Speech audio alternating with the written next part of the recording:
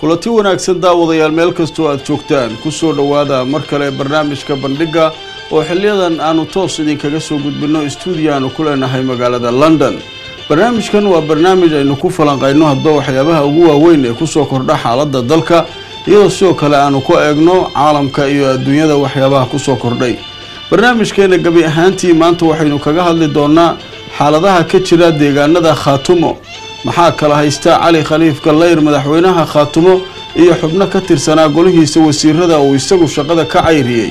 Jabhadda laga aasaasay magaalada boocame sidee bay xaaladeedu noqon doontaa? Ma waxay la mid noqon doontaa sida jabhadihii iyada ka horreeyay s c oo ninkii madaxda u ahaa uu ku biiray somalilan mise waa jabhad waxa ay ku baaqeen ka dhabayn doona oo markaa ka shaqayn doona danaha deegaanada ay matalayaan? Haddaba jabhaddaas sidee looga arkaa deegaanada khaatumo aqoon-yahanada reer khaatumo sidee u arkaan xiisadaha ka dhex aloosan khaatumo? Wadahadaladii ugu dambeeyay addis ababa ku dhex maray madaxweynaha khaatumo cali khaliif galleer iyo madaxweynaha somalilan maxaa ka soo baxay? Sideese loo arkaa wadahadaladaasi dhammaan arrimahaas ayaanu barnaamijka gebi ahaantii ku faaqidaynaa. Barnaamijka waxaa igala qaybgalaya aqoon-yahan soomaaliyeed oo degan magaalada london lagu magacaabo cabdulaahi cali gaani kana mid ah aqoon-yahanka ka soo jeeda deegaanada khaatumo. Waa mar kale daawadayaal iyo barnaamijka bandhigga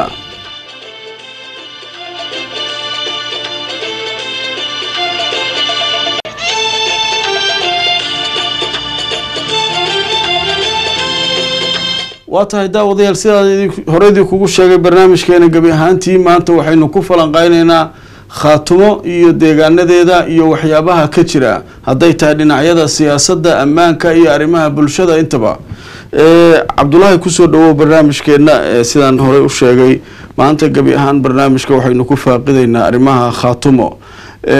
Marka hore taariikh kooban naga sii khaatumo sida ay ku aas-aasantay dadkii ka dambeeyay aas-aaskeeda iyo xaaladeeda siday marka hore ku bilaabatay. Marka hore si aan dad badan oo aan la socon ay u fahmaan kadibna xaaladda maanta la joogo si aan u galno. Bismillah assalaamu calaykum waraxmatullahi wabarakaatu waan ku salaamaya adiga iyo dhammaan walaalaha soomaaliyeed ee la daawanayo. Runtii soomaaliya waxba kuma kala qarsoona oo taariikhda khaatumo inta aan ka ogahay iyo inka badanba dadka soomaaliyeed way ka ogyihiin waad ogtahay wadankeena waxaa ka jira dagaal sokeeye oo dhaba oo xarbul ahli ah dagaalkaas sokeeye oo marba weji yeelanaya. Waxaa jiri jiray wadankeena jabhado maxamed siyaad barre la dagaalamo s s ah. Jabhadahaas xilligay soo gaadheen. Dadka deegaamadana weligood jabhad ma yeelan iyo maamultoona maamulkii daraawiishta wixii ka dambeeyey wax maamula iyo siyaasada isku meedayin dadka soomaaliyeed iyo madaxdiisa unbay la jaan qaadi jireen. Dowladdii markay burburtay deegaamadan dadkii ugu horreeyey ee maamul goboleed sameeya ayay ahaayeen. Shir ayaa la isugu magaalada boocame. Boocame iyo two iyo three ba waa jiray maamul goboleed baa lagu sameeyey. Meel soomaaliya maamul goboleed laga sameeyey ma jirin markaa maamul goboleedkaa dadkii sameeyey isla markiiba waxaad moodaa inay u huleeleen shir lagu qabanayay magaalada boorame oo somaliland lagu aasaasayey siyaasiyiin bay noqdeen ashkhaasa oo runtii dadkoodii aan matelin oo wax wada tashiya dadka intay la sameeyeen ay yidhaahdeen maamulkaasaan ku biiranaa ma jirta laakiin shiksi shiksi ayay ugu biireen meesha maamulka somalilan runtii waa kii ka fashilmay xilligii ina cigaal uu ku koobay dadka maaragtay beesha ina cigaal ka soo jeeda keliya.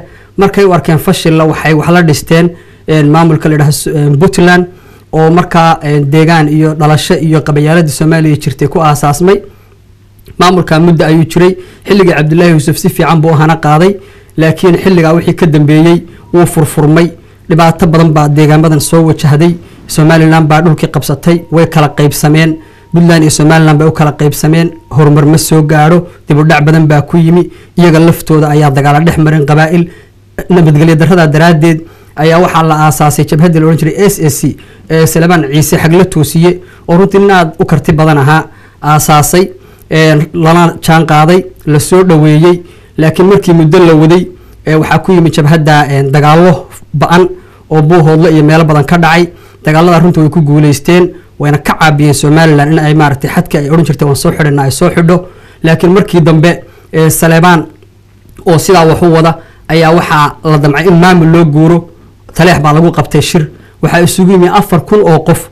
Ma jirto meel soomaaliya dadka deegaanku ay maalgeliyeen shirkooda amnigiisana sugeen amnigiisana sugeen isimadoodii iyo dhammaantoodna isugu yimi cuqaashii waxgaradkii siyaasiyiintii qurba joogtii meeshaasaa la isugu yimi.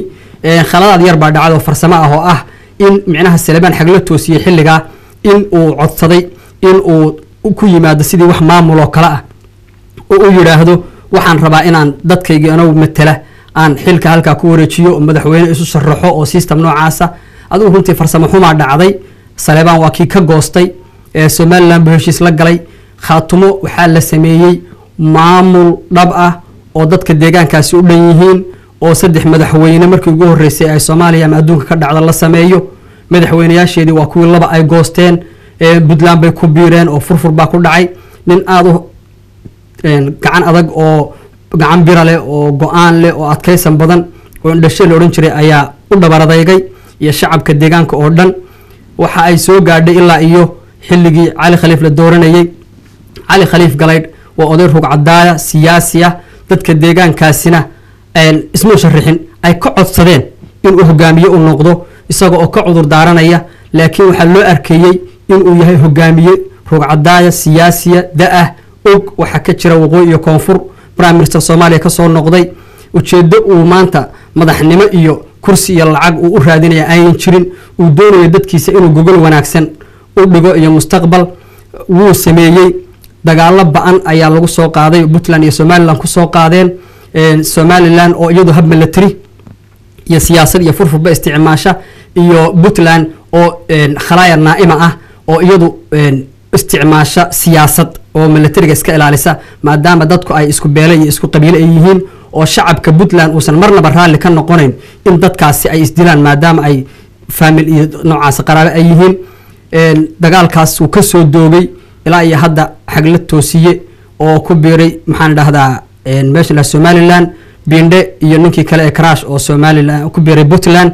Oo wasiirka arrimaha gudaha hadda ah puntland wasiirka caafimaadka xaggan xagla toosiye ah. Iyo cali khaliif oo dadkiisii weli dhex jooga. Indhasheelo weli dadkiisii dhex jooga. Dadkii oo weli ku midaysan in ay khaatumo ahaadaan. Dhaliilo ma jiraan mise ma jiraan taa waa baab kale. Waa u iman doonaa. Somalilan iyo khaatumo hadda waxaa u bilowday wadahadal wadahadal markii ugu horreysay ay la galaan maamul wadahadal weeye.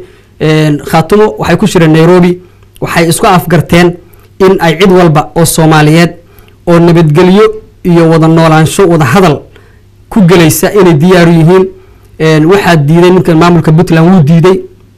Maamulka puntland wuxuu arkaa khaatumo inay tahay qeyb ka mida isaga haddii uu ogolaado in ay uu la galo wadahadalla u ogolaaday in ay puntland laba tahay saas daraaddeed cabdiweligaas wuu diiday in uu cali la galo. Bal wuuba aflagaadeeyo wuxuu yihi wuxuu qabaa stockholm syndrome oo waa nin weerarsan buu ku tilmaamay. Ugu dambeyntii somalilan ayaa u aragtay maslaxadeeda in ay khaatumo la hadasho oo dee waxay arkeen waaqicii dhabta ahaa inaan cidina maaragtay beeli beel xukumi karin. Wayna ku wanaagsan yihiin dadka reer waqooyiga qaab ay isu fahmaan baa jirta wadahadalkaasi hal mar oo fudud ayuu caynaba aynu wadahadallo ay isku afkarteen markii labaad siilaanyo iyo labada madaxweyneha waxay isku arkeen adis ababa. Waxaa loo ballansan yahay toddobiyo tobanka bisha. Dib baa hadda loo dhigay baan maqlayo afar iyo labaatanka bisha november. Ayaa laga dhigay. marka tahay intaasun baan ku soo koobi karaa. waa mahadsan tahay sida aada noogu soo koobtay eh, taariikhaha eh, deegaanadan ay soo mareen iyo isbedeladii ay soo mareen. Laakiin arrinta hadda taagan waxay tahay eh, sida aada og tahay waxaa aas-aasmay hadda jabhad cusub oo laga sameeyey magaalada boocame. Sida aad taariikhda hadda ku sheegaysay magaalada boocame waxay ahayd magaalo intaasoo jeer sharar iyo waxyaabo badan lagu soo qabtay. Jabhadan cusub waxay ka soo horjeedaa siyaasadda madaxweynaha khaatumo iyo wadahadalkan uu kula jiro somalilan iyagoo u arka in la iib geynayo ama la beec geynayo khadiyadii ama qadiyadii eh, reer khaatumo oo rag gaar ah ay rabaan inay mansab ku raadsadaan ama darajo. Marka sidee u aragtaa jabhadan cusub iyo iyo qaabka ay hadda ku shaqeynayso walaalow horta runtii waad ogtahay waddankeena waxaa ka jira dagaal sokeeye. Mar walba oo wax laysku afkartana cid uunbaa u aragta khalad jabhaddan waxaan odhan karnaa inay tahay jabho jabhad micnaha een, cadhadii shacabka muujinaysa oo isleh micnaha wadahadalkan somalilan lala gelayo aan habi ku ahayn. Sababtuna waxa weeye deegaamadan khaatumo waxaa looga bartay had iyo goor dad mansab iyo kursi iyo lacag iyo hunguri doonaya oo u baxsada ama u dhuunta labada maamul ee puntland iyo somalilan marka dadka shacabka ee mar kastaba waxay welwel ka qabaan. In siyaasiyiintu ay noqdaan sidii kuwii hore ay noqdaan. Marka welwelkaasa wuxuu abuuray taxafud ah. War bal aynu isdifaacno yaynaan wada raacin go'aankan wadahadalka somalilan lala gelayo oo aynu jabhad samayno. Marka waa caro baan aaminsanahay iyo kalsooni darro looga bartay siyaasiyiinta deegaankani in ay had iyo goor kursi iyo mansab ka doontaan labada maamul. Marka welwelkaas unbaa jabhaddan abuuray haddii la xaliyo oo laysla fahmo meesha loo socdo waxaan aaminsanahay in la xallin karo. Laakiin welwel wax ka weyn baa jira. Intaasoo niyuus baa waxaa laga sameeyey wasiiro shaqadii laga cayriyey cali khaliif galleer cayriyey iyagiibaa shirar jaraa-id qabtay iyagii qaarkood baa jabhadahan iyo howlahan abaabulaya waxay leeyihiin khaatumo hawsheedii iyo hogaankeedii wuu baal maray wixii loogu talagalay.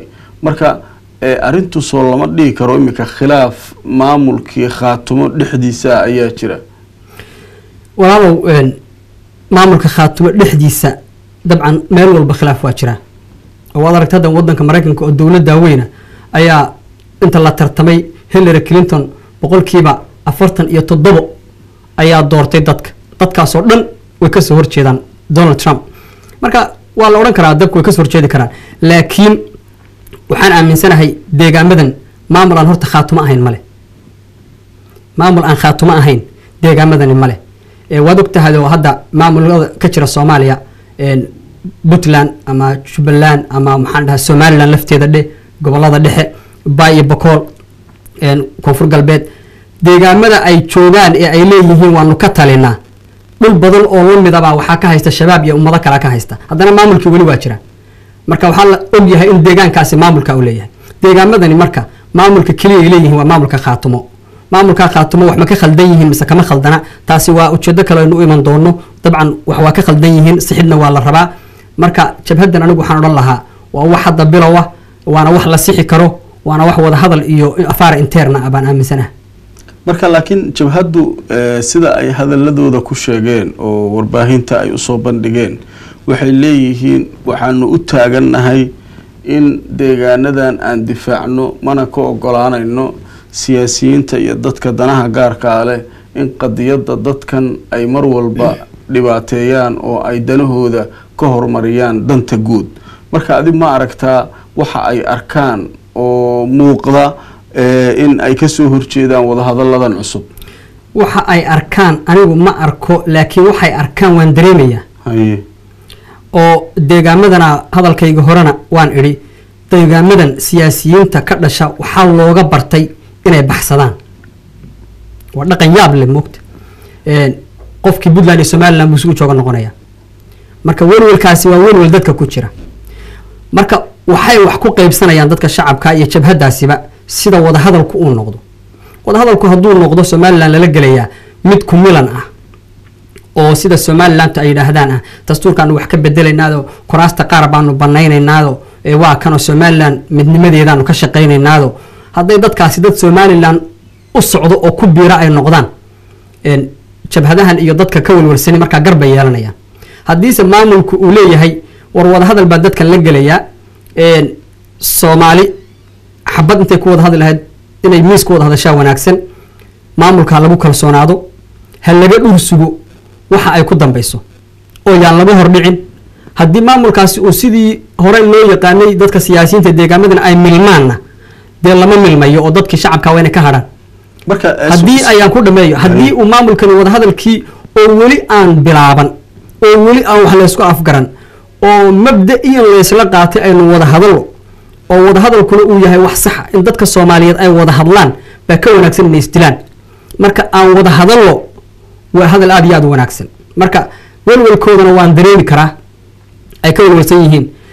Garna waa siin karaa maamulka oo dee maamulku mas'uuliyaddii loo dhaariyey inuu hawshiisii qabsado oo wada hadal galo oo dagaal galo oo heshiis galo oo tanaasul sameeyo oo go'aamo qaato dee waa wixii loo doortay. Marka maamulkana dadka u maamula hadda khaatuumun baa maamul dadka u ah waa tahay. Marka khilaafkan waktiga uu bilowday iyo cidda uu u dhaxeeyo oo hadda muuqda in uu sii ballaaranayo khaatumo dhexdeeda ma noo sheegi kartaa halkuu ka bilowday khilaafkan yuuse dhex maray.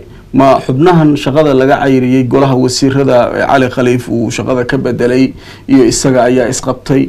Ma ragga isaga ku-xigeenadiisa ayaa isqabtay. Sidee waxu jiraan? Walaal horta hadalkan aad tarkiisinay sidee aad mawduuceeni oo dhan ka dhigtay jabhadda iyo khilaafka khaatumo.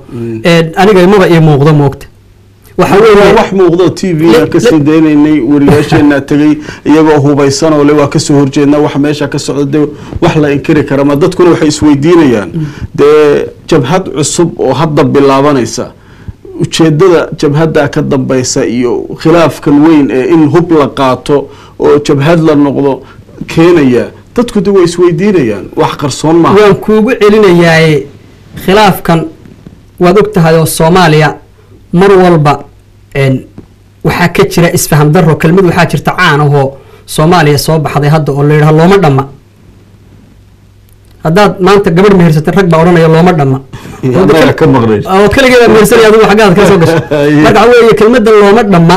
Waxay iska noqotay kelmad. Laakiin waan kuugu celinayaaye jabhaddani waxay ka walwalsan tahay waa wax anigu baan ka walwalsanahay oo ah in dadka siyaasiyiinta ee khaatumo hogaamiya ay somalilan ku milmaan.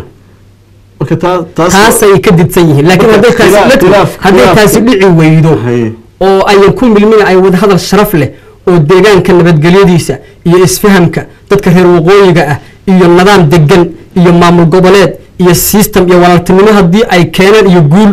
Waxaan aaminsanahay jabhadduna inay qanci doonto haddiise ay keeni waayaan wadahadalkaasi guul keeni waaye ay noqoto sidii hadda aan kuu sheegaya ay ku milmaan somalilan. Waxay noqonaysaa shacabka iyo isimada iyo ganacsatada iyo aqoon-yahanadu inay ka harayaan oo marka ay noqonayaan koox uun ku biirtay somalilan. Micno badanna aanay yeelanayno sida saleebaan oo kale uu noqonayo nin dee jaga meel ka haya. Marka walwalkay ka walwalsan yihiin waa kaa kaasna dee waa in la sugo wadahadalku wuxuu ku marka arrintan khilaafka waktiga ay bilaabatay iyo cidda khilaafkan uu u dhexeeyo ma noo sheegi kartaa. Walaalow ma ka bilowday ma ma ma wax horaa la isku haystay halkeebuu ka bilowday khilaafkan khaatumo soo kala dhex gala. Walaalow khilaafkan khaatumo aad sheegaysid in badan uu muuqday oo waxa weeye mar walba dee dadka soo puntland ku jira ee maxay ahatay puntland ku jira ee reer khaatumo ihba waa khilaaf bay ku maqan yihiin iyo aragti ka duwan ee tan khaatumo kuwa somalilan saas oo kale dadkii marka khaatumo isla ahaa markii ay dowladda khaatumo ay go'aansatay inay wadahadal somalilan la gasho dad badan baa ka biyo diiday. Een, anigaygan shaksiyan waan ka mid ahaa waan ka biyadiiday markii ugu horreysay laakiin markii lay qanciyey ee layla hadlay ee aan waraystay waxaan ogaaday dee wadahadal iyo walaaltinimo haddii wax lagu helayo in xabad ay ka wanaagsan tahay. Marka xilligaa wasiiro ka mid ahaa golaha wasiirada iyo guddoomiyaha baarlamaanka oo khaatumo dhammaantood way ka soo horjeesteen ee markii dambe gudoomiyii baarlamaanka wuu hadlay markii wax loo sheegay ee xaqiiqadii iyo information saxa uu helay tanaasul buu sameeyey waxa uu waxaan ka dhursugayaa een, halka ay ku dambeyso een, wasiiradii qaarkii arrimaha gudaha iyo nin kale oo falaalug la yidhaahdo iyona waxay ku adkaysteen. Markaas waxaa adkaatay maa filayaa inkastoo anigu aanan ka mid ahayn maamulka khaatumo wax jaga aanan ka hayn laakiin sida xogta aan ku ogahay wada baa adkaatay wada shaqayntii markay adkaatayna saas ayaa marka wasiiradii xilkii lagaga qaaday.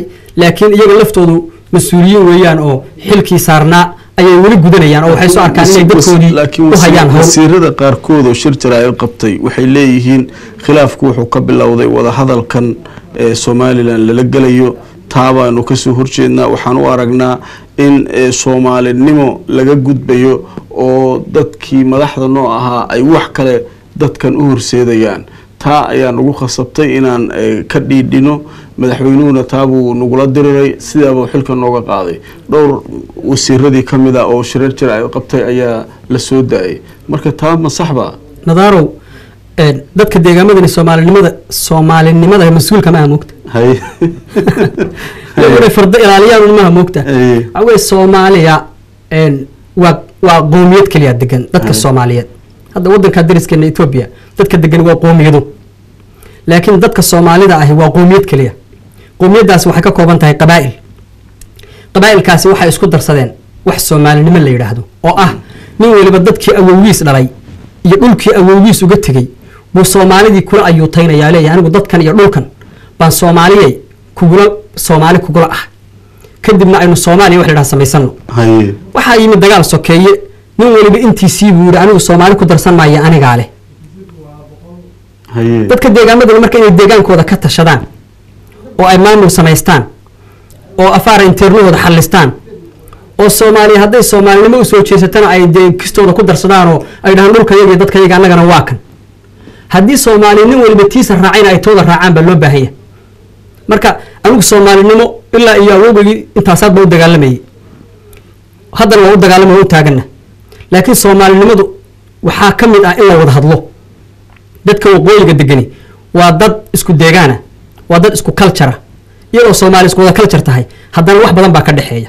Marka inay reer waqooyi ahaan intay wada hadlaan ay yidhaahdaan war sideebeynu laba maamul oo kala nabad galo oo walaalo aho waqooyiga ugu nool u noqonaa dadka koonfur degan ee soomaaliyeedna aynu haddaynu lixdankii khaldannay oo si fudud aynu isugu dhex tuurnay. Maanta inaga oo midaysan oo laba maamul oo isku hadafa ah aynu koonfur iyo waqooyi ugu yaraan ugu wada hadli karnaa waa feker wanaagsan baan anigu u arkaa oo fekerkan isdhexyaaca ah soo ururinaya. Waxaan kaloo kuugu daraya waqooyiga soomaaliya. Dhibaato badan baa ka jirtay. Haddii maanta dadkii waqooyiga deganaa lagu soo ururiyey in laba nin u hadasho cali khaliif iyo maxamuud hebelkaas siilaanyo ay u wada hadlaan oo labadaa nin ha wada hadleen oo dadka intiisii kalena ay wax sabooraya iyo wax garab taagan noqdaan waxaan aaminsanahay taladii la soo ururiyey. Maantana odayada waaweyni ay keeni doonaan wax dadka shacabka ah colaada qabyaalada iyo burburka ka saara oo no- wada noolaasho keeni kara. Marka aan ku dhameeyo dadkan marka gobollada khaatumo jooga waxaan aaminsanahay in ay ka dhur sugaan oo haddii maamulka khaatumo uu ku milmo somalilandna dee meeshoodu bay ka haynayaan oo ma raacayaan. Haddii ay noqoto laba maamul iyo wada hadal iyo gobonnimo iyo dhulka inay ka baxaan iyo arrin kale aan kuu sheegaya waxaa jirtay laba qodob oo khaatumo mar walba beys u ahaa oo ah xorayn iyo midnimo in dadka la mideeyo lagana xoreeyo nimankan meesha haysta. Marka midnimadii dhaawac badan baa ku yimi oo wax badan oo khaldan baa jira. Een, laakiin waa lagu guda jiraa midnimada waxaa ka mid ah in la wada hadlo oo wixii khaatimo dhexdeeda ana la xaliyo wixii dadka inagu hareereysan ku xidhana la xaliyo laakiin anigu waxaan aaminsanahay in laysku wadi karo iyadoo oo khilaafku jiro in aan danta muhiimka ah iyo hawshii khaatuma ay qabsan lahayd aan looga hakane khaatumana ay hawshada qabsato dadkuna ay dadaalaan oo ka taxadaraan khaatuma hadalkay gelaysaa inuu noqdo mid milana iyo inuu yahay mid guula. Waa tahay ee, aad iyo aad baa u mahadsan tahay. Mudane cabdulaahi cali gaani waa kuu soo noqon doonaa inagoo faaqidi doonaa arrimo muhiima oo dad badan ay isweydiinayaan oo ku saabsan qaabka uu ku dhacay shirkii ka dhacay adis ababa iyo wixii ka soo baxay iyo inta aada xog ka hayso shirkaa iyo cidda ka dambeysay abaabulkiisa waa shirka dhex maray madaxweynaha khaatumo cali khaliif iyo madaxweynaha somalilan axmed siilaanyo iyo weliba wafuudii ay kala hogaaminayeen. Daawadayaal waxaan jecelahay markan inaan warbixin uu wariyaheena magaalada boocame nooga soo diray. Markii jabhadan iyo qaabkeedii la aas-aasayay iyo fakarkooda uu ka soo ururiyey waxaa la yidhahdaa maxamed axmed jaamac eh, wariyaheena oo nooga soo waramayay boocame. Eh, waxaana uu inta badan nooga soo waramaa wariyahaas isagoo hawshaas shaqo u tegay magaaladaas magaalada laascaanood haddaba warbixintaas ayaynu daawanaynaa kadibna xayeysiin ayaynu aadaynaa kadibna waa isku soo noqon doonaa degmada boocame oo dhankii beri ka xigta magaalada laasacaanood ee xarunta gobolka sool ayaa si rasmiya looga dhawaaqay. Jamhad cusub oo markaasi la sheegay inay u taagan tahay midaynta iyo xoreynta gobollada sool sanaag iyo cayn oo haatan intooda badan ay ka taliso maamulka somalilan. Waxaana mas'uuliyiintani xuseen in himilada iyo ujeedka loo aasastay jamhadan ay tahay sidii looga midho dhalin lahaa xoreynta iyo midaynta gobollada sool sanaag iyo cayn waxaana sheegay inay jamhadan u furan tahay cid kasta oo doonaysa xoreynta dhulka ku jira gacanta maamulka somalilan. Waxaana madashan jamhadan lagaga dhawaaqayay ka hadlay qaar ka mid a hogaanka jamhadaas oo ay ka mid ahaayeen faysal maxamed xasan farelg oo loo doortay gudoomiyaha ku-meel gaarhka jamhadaasi horena uga mid ahaa golihii wasiirada maamulka khaatumo uu madaxweyne cali khaliif galeer dhowaan xilka ka qaaday. Waxaana kaloo ku weeranaya kulankan ay warbaahinta kula hadlayeen farxaan maxashwaan oo ka mid a saraakiisha ciidamada khaatumo haatana ku biiray jamhadda cusub laga yeeleelay sidoo kale waxaa iyana madashaasi joogay warbajoog iyo waxgarad ka soo jeeda deegaanada khaatumo kuwaas oo iyana taageeray jamhadan cusub oo lagaga dhawaaqay degmada boocam ee gobolka sool iyagoona arrimahaasi ka hadlay waxaa haladoodii ka mid ahaa. Annagoo ah garab khaatumo ah oo ciidamada iyo wasiiro iyo xildhibaano iyo wax kasta leh iyo garab jamhada oo midnimo la yidhaaho inaanu maanta halka ku midownay aanu ku midownay hal magac xoogga yagiina isu geynay halkaa magac oo ah jamhad ka dagaalami doonta oo u dagaalami doonta xoreynta iyo midaynta dhulka khaatumo jamhaddaasoo la yidhaahdo jamhadda xoreynta iyo midaynta deegaamada khaatumo. Waxaanu la dagaalami doonaa dadkaa soomaali diidka ah ee ku soo dilay gobolladii s c weligayana waanu la soo dagaalamanay haddana waanu la dagaalami doonaa. Jamhadatan maskaxda lagu coriyey ma aha maskax meel laga soo waariday oo dibad ka timi ama meel kale ka timi ama maamula ka timi ma aha waxaa maskaxdani ka dhalatay kadib markii hagardaamo fara badan mujtamacan reer khaatumo loo geystay oo halgankoodan ku saabsan kuwii dagaalamayey oo aad hebelle u garanaysaan. Markii lugooyo badan oo taa hadda dhacday ugu dambaysay dadka loo geystay bay waxay qaateen arrin ka madax bannaan hindiso kale oo dibad laga soo waarido ama meel kale laga soo waarido oo ku aadan rabitaanka dadkan oo ah xorayn iyo midayn. Jamhad u adeegta inay sameeyaan. Waxay ka curatay kuwii dagaalamayey fekerka kani. In aan jamhaddani ay u furan tahay dhammaan mujtamaca reer khaatumo inay ka soo qayb galaan ciddii ka madax bannaan weeye maamulada hareerahayna ka xiga.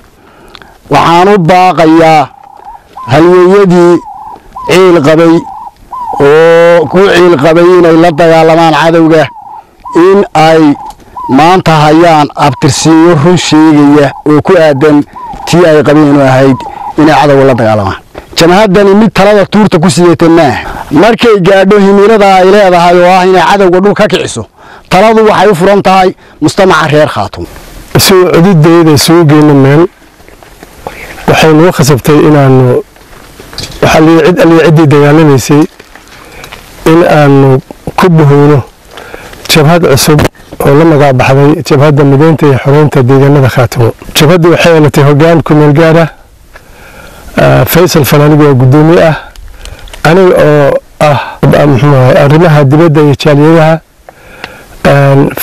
farxaan baaxishweyn oo ah xubin guddiga sare ah annagu waxaanu maaragtay ballan qaadaynaa inaanu dagaalkaa wadno. Jaaliyadan waxaan ka sugaynaa de wixii laga rabay anagu haddaan nafteydii horey iyagana waxaa laga sugayaa inteedii kale. Sidoo kale ummadda soomaaliyeed ee namaqlisa meelay joogaanba ee midnimada aaminsan soomaaliya. Iyaga laftooda waa uga baahannahay taageero hiil iyo hooba. Annagu waa ciidamada khaatumo amase jamhadda xoreynta iyo midaynta khaatumo state deegaamadeeda waxaanu dhulkan u joognaa amaanu ugu jirnaa. Xoreynta dalka horena aanu ugu jirnay. Waana la dagaalami doonaa waana ku jiri doonaa haliyada ciil qabay waxaan ugu baaqayaa inay garabkayga soo istaagaan waa markii ugu horeysay ee dhismihii maamulka khaatumo kadib lagu dhawaaqo jamhad cusub oo markaasi ka howlgeli doonta deegaanada sool sanaag iyo cayn. Waxaana xusid mudan in jamhadani ay ka horeysay midii s c oo iyadu dhashay maamulka khaatumo oo sanadii labada kun iyo labiyi tobankii laga dhawaaqay magaalada tale ee xarunta gobolka sool. Hadal haynta ugu badan ee shacabka gobollada sool sanaag iyo cayn ayaa ahayd waxyaabaha ay qaban doonto jamhadda cusub lagaga dhawaaqay degmada boocam ee gobolka sool. Maxamed axmed jaamac maxamed bidaanshe xaqiitabiyaha caalamiga ee kelson t v duleedka degmada boocame ee gobolka sool. Dhammaan dadka soomaaliyeed ee ku nool waddanka kenya iyo guud ahaan dalka soomaaliya waxaa lagu wargelinayaa in doctor cali macow aweys uu ka furay magaalada nairobi ee dalka kenya xarun cusub oo lagu daweynayo dadka cudurrada kala duwan qaba ee ku dhaqan geeska afrika. Dhakhtarka waxa uu xaruntaasi geeyey qalab casri ah horey waxa uu uga soo shaqeeyey waddamada jarmalka iyo ingiriiska dadweynaha soomaaliyeed meel kasta ay joogaan waxaanu sheegayaa xarunta cusub ee aan ka furin magaalada nairobi xaafadda barklane ee in laga helayo raajada sambabka iyo lafaha in laga helayo tubada caloosha la geliyo in laga helayo tubada xagga dambe lagu fiiriyo oo laga helayo maaragtay wadnaha wax lagu baaro qalab lagu baaro wax kasta inaad ka heli karto ninkii danaynayo inuu meeshaas ii yimaado haddaba doctor cali macow aweys iyo tiimkiisa waxa ay xaruntan ugu talagaleen dadka xanuunsanaya ee ku dhaqan guud ahaan geeska afrika gaar ahaan dalka kenya ee soomaalida ah in halkaa lagu daweynayo. Waxa uu xiriir la leeyahay cisbitaallo waaweyn oo ku yaalla yurub gaar ahaan wadanka jarmalka isagoo u sahli doona helista fiisaha bukaanka wax looga qaban waayo gudaha xaruntiisa ee magaalada nairobi. Sidoo kale waxa ay tiimka doctor macow cali aweys kuu diyaarinayaan haddii aad joogto gudaha dalka soomaaliya inay kaaga shaqeeyaan sidii ay kuugu soo saari lahaayeen fiisooyin aad ku soo booqato xaruntiisa magaalada nairobi ee dalka kenya. Waxaad adduunye maashood raadisa macaankeeda. Mar haddaanad lahayn maskax kuu adeegto ku mariso marinkaada. Maacaleesh weeye noloshee micno yeelan maysee mahuraan waa dantaadae maalmo ku nasan liido resort quruxda dhismahan ku maquurshay waa guryo mugweyn oo markaad saa u dhex istaagto. Fadhiyo maamuus leh sariiruhuna malaayiin iyo ka mudan kuwii hore. Bal milicsoo dheeho mataanihiis caruusi iyo habeenadooda malabka waa halkay ku wada miisi lahaayeen lido biich resort. Maqaayad cunnadeeda iyo dhadhankeeda laga maqsuudo. Kaba go'ayn maanka naftuna ay u muhato waa meel lagugu diyaarshay liido biich resort meelba waa cayno maqsuud markaad joogto liido badda mawjadeediiyo layd iyo mombaaso xeebteed cagaarka muunada leh mar qura martidii tagtaa marxabayn iyo jacayl milicsiga ilqabad kale ka maydha daalkii hayay. Liido biich resort adeega aad ka helisid waxaa ka mid ah internet xawaaro sareeya iyo erboodka lagaa soo qaado laguguna celiyo. Intaad joogtidna lagugu soo damaashaad siiyo goobaha talxiiska iyo ugaadha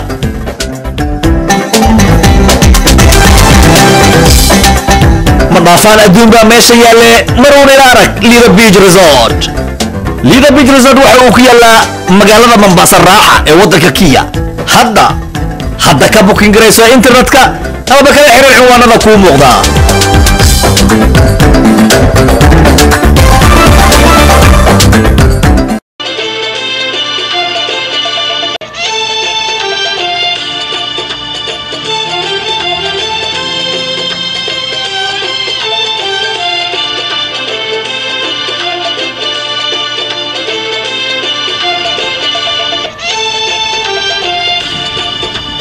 waa tahay daawadayaal waa tahay daawadayaal isu soo noqod wanaagsan. Markan waxaynu maraynaa qeybihii ugu dambeeyey barnaamijka bandhiga inagoo maanta barnaamijka guud ahaantii ku soo qaadanayna xaaladaha ka jira deegaanada khaatumo iyo wadahadalada dhex maray madaxda khaatumo iyo madaxda somalilan iyo weliba jabhad cusub oo laga aasaasay deegaanada khaatumo.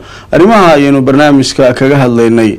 Haddaba markan waxaynu soo gaarnay qeybihii aynu doonaynay inaynu bal kaga hadalno wadahadaladii ka dhacay magaalada adis ababa ee dhex maray madaxweynaha khaatumo cali khaliif galeyr iyo madaxweynaha somalilan axmed siilaanyo barnaamijka waxaa igala qeybgalaya sidaan hore idinkugu sheegay cabdulaahi cali gaani oo ka mid ah aqoon-yahanka degan magaalada london islamarkaana deegaan ahaan ka soo jeeda deegaanada khaatumo ee maanta barnaamijkeena guud ahaantii uu ku saabsan yahay. Waa tahay gaani mar kale soo noqod wanaagsan. Waxaan ku weydiiyey wadahadalada adis ababa ka waran yaa uga qeyb galay inta aada xogta ka hayso dhinaca khaatumo dhinaca somalilan yaa ka qeyb galay wadahadalada in yaa ka soo shaqeeyey inuu inay dhacaan maxaa ka soo baxay? Si guud noogu sharax bismillahi alxamdulilah walaalow hadalka gobodiisu wadahadalladan waxaa keenay bisayl bisaylkaas oo ah micnaha in aan dadka soomaaliyeed xabad iyo qori qori ku taag iyo in reer burciyo reer hargeysa ay deegaamada khaatumo ay haystaan oo ay ku haystaan xabad iyo laaluush iyo kala furfur dadka dareer khaatumo ah ayaa ay ku daaleen lacagta baa kaga dhamaatay. Guul bay ku gaari waayeen ictiraaf bay waayeen waxay doonayeen bay waayeen. Kuwan khaatumo laftoodu dhibaato badan baa ay ka soo wajahday. Maxay ahatay khilaafaadka dhexdooda ah ee dowladda federaalka ah maxaan dhahda dhibaatooyin badan baa jira. Marka waa laba dibi oo daalay marka waxa weeye wayna isu nasteen. Mid walibana wuxuu arkay inuu dantiisa raaco ka kalena ka nabad galo. Marka dadkana run ahaantii waa dad marka xaqiiqada loo noqday caadifada laga baxo waa dad reer waqooyi isku ah. Una arka in wax badan oo ay isla fahmi karaan ay jiraan. Marka warbal haddaan wada hadallo ka warrama ayay ku timi.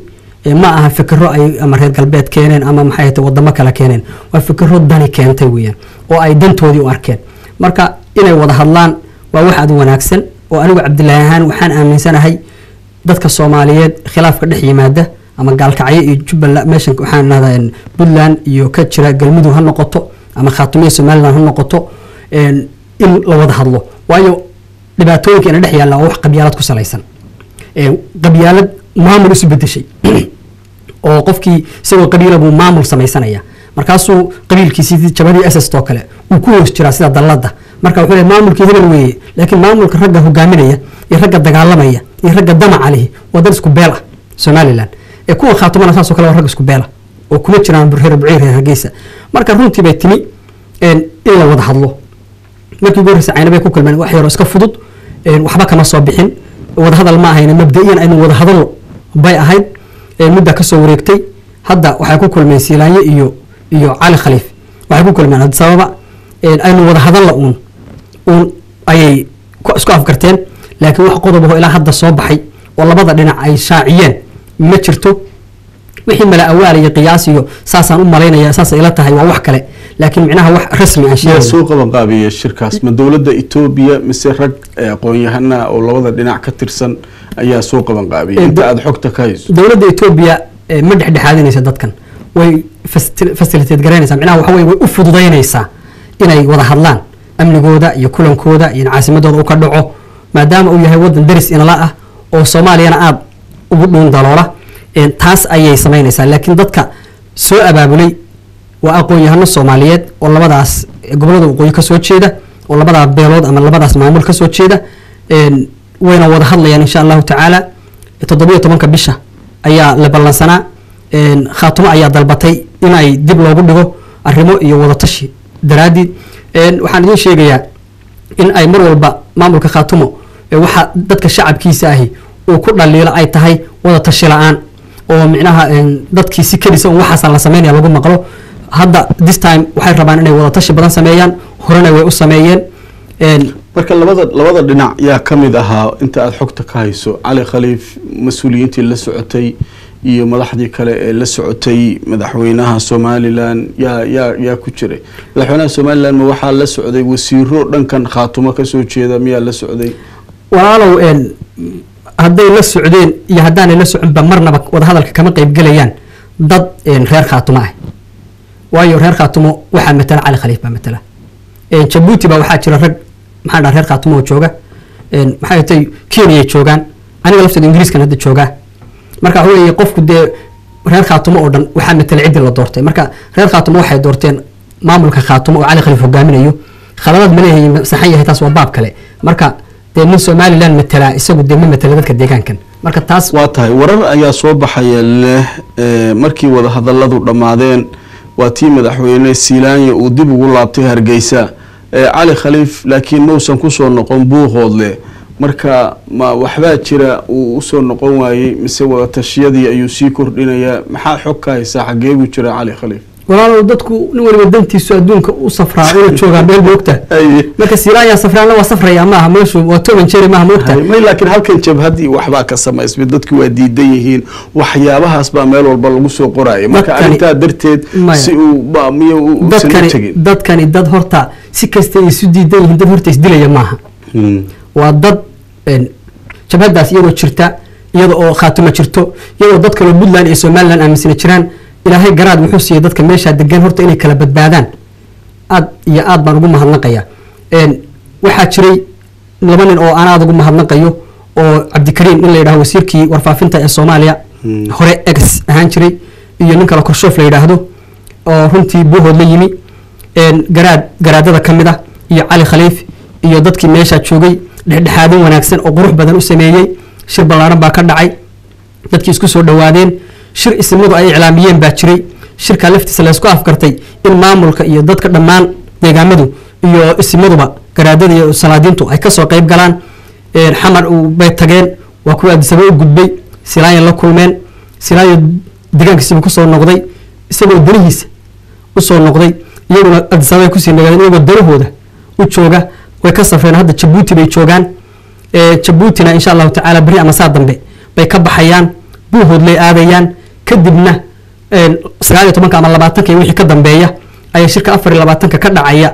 Ee adisababa ay ka qaybgalayaan marka wax dhibaato ahoo ay micnaha ku maqan yihiin ma jirto ee shaqay ku maqan yihiin. Waa tahay gabagabadii ayaan maraynaa. Marka waxaad ka mid tahay aqoon-yahanka qurba joogga ah ee ka soo jeeda deegaanada khaatumo. Sidee looga arkaa wadahadaladaas dhex maraya somalilan iyo khaatumo. Marka london oo kale aada joogtaan ama meelo kale dabcan xiriir badan waad la leedahay. Dadka qurba jooggaa see u arkaan. Inta badan qurba joogga eh, waxaa lagu dhaliilaa wax walba inay taageeraan. Hadda waad arkaysay eh, daawadayaasha markaan u soo bandhignay jabhadda cusub waxa ugu weyn ee iyagu ictimaadayeen ama ay rabaan inay kaalmeeyaan waa dadka qurba joogga ah. Marka qurba jooggiinu sidee u aragtaan? Walaalow nin waliba wadahadalkan sidiisu u turjumanaya een, nimanka somalilantaa een, wadahadalkan waxay u turjumanayaan oo aada maqlaysaa oo ninkii la odhan jiray ciro oo cali khaliif kula kulmay meeshan adisaba la yidhaahdo aaban ka maqlay isagoo leh. Waan la kulmado cali khaliif waxaan kala soo hadlay midnimada somalilan marka waxa weeye sidiisu u turjuntay dad badan oo caadifiyiin ahoo odhanaya khaatuma somalilan bay ku soo biiraysaa qurba jooga oo ama reer khaatuma ah ama reer somalilana oo sidaa u arka oo dhaliilsan oo kuwa somalilantuna ay ku faraxsan yihiin kuwa kalena ay dhaliilsan yihiin leeyihiin maxay tahay way biirayaan. Ayaa jirta. Laakiin xaqiiqadu waxay tahay in aan laga hordhicin oo la sugo waxa meesha ka soo baxa. Nimankaasi haddii markay kulmaan ay isku milmaanna. Dee somalilan baa laysku yidhahdaado awalba dee niman somalilan oo deegaamadan ka soo jeedaa way ku jireen een, maxaan dhahda somalilan haddii ay dadka deegaankan waxay doonayaan iyo shirka isimada buuhoodle laysku afgarto oo guddi wada xaajood baa la sameeyey. Iminkana dad badan oo aqoon-yahan oo wada tashigoodii u gudbiyey baa jira. Khaatumo oo qoraal iyo oraliba u gudbiyey. Maxaan dhahda waa la xidhiidhnaa. Waa lala taliyaa. Talada way qaataan way urursadaan. Haddii ay marka cali ciise iyo cali khaliif iyo maxamed mahdi iyo een, maxaa ahatay een, wasi- wasiirka arrimaha dibadda iyo dhammaan cabdikariim iyo ragga odayada aqoon-yahanada ah ee meesha jooga ay keenaan wax dadka deegaamadan u cuntama oo aan somalilan ha lagu biira ahayn dadku way soo dhaweynayaan. Haddii ay keenaan laakiin somalilan baa lagu biirayaa waxaan aaminsanahay dee inay noqonayaan ashkhaasun somalilan ku biirtay. Dadkuna mar walba ay meeshoodii sutida ka sii hayn doonaan. Waa tahay aada iyo aad baad umahadsan tahay. Daawadayaal waktiga ayaa noo saamixi waayey. Inaan barnaamijka sii wadno waxaan soo gaarnay gabagabadii barnaamijka. Barnaamijka bandhiga gebi ahaantii waxaynu ku faaqidaynay maanta xaaladaha siyaasadeed iyo midda amni iyo sida ay yihiin deegaanada khaatumo ama maamulka khaatumo iyo wadahadaladii ugu dambeeyay dhex maray madaxda khaatumo iyo somalilan wixii ka soo baxay iyo waxa laga fili karo intaba. Daawadayaal barnaamijka waxaan uga mahad celinayaa oo igala qayb galay cabdulaahi cali gaani oo qami- ka mid ah aqoon-yahanka reer london islamarkaana deegaan ahaan ka soo jeeda deegaanada khaatumo waa mahadsan tahay. Cabdulaahi sida wanaagsan aada barnaamijka nooga aqbashay.